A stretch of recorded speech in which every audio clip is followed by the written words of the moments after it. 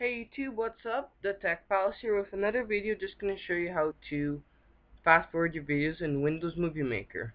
So first of all, you're going to actually have to download the newest version of Windows Movie Maker and once you've done that, and you have your video clip, you're just going to go to Edit and here it says Speed, you're just going to go times 2 or whatever the speed you want.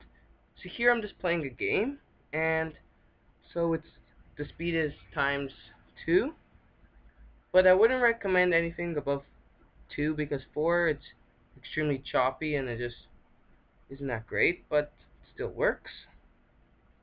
You can also make it slower if you want to do that. Also works. Let's say I only want this part to be fast forwarded. I would just pause it, right click, go to split, click on the part that I want to be fast forwarded, and fast forwarded by 2 and here I would just put it to to the normal speed. So yeah this was just a really quick video showing you how to fast forward your video.